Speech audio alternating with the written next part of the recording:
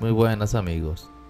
Hablaremos sobre Julio González, un amante abandonado cuya venganza por incendio provocó en el club nocturno sin licencia de Happy Land en el Bronx en 1990.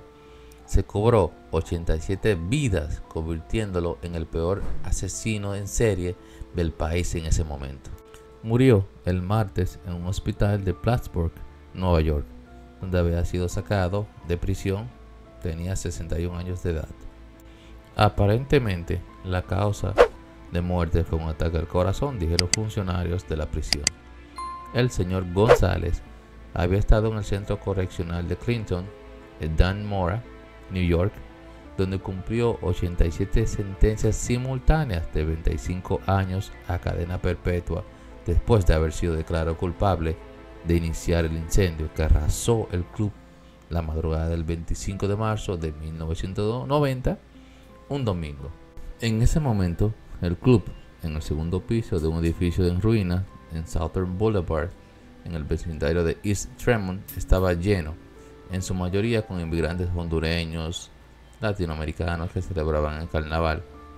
De ahí solo seis personas escaparon con vida.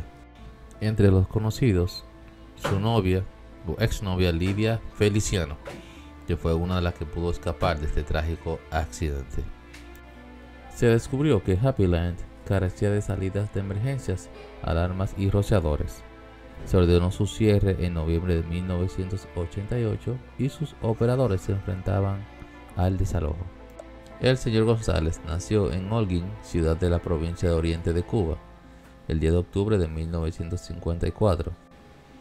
Cumplió tres años de prisión en la década de 1970 por desertar del ejército cubano. En 1980 cuando tenía 25 años de edad, se unió a lo que conoció como el elevador de botes del Mariel, un esfuerzo organizado por cubanoamericanos y aceptado por el gobierno cubano que trajo miles de cubanos solicitantes de asilo a los Estados Unidos.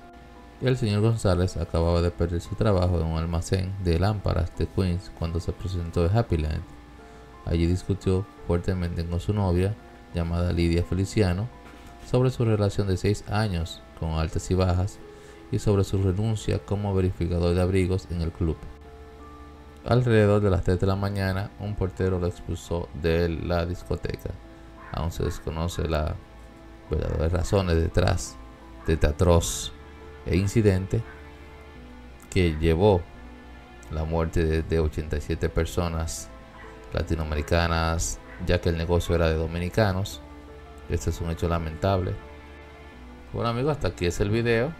No olvides suscribirte, regalarme un like y hasta una próxima. Caso cerrado.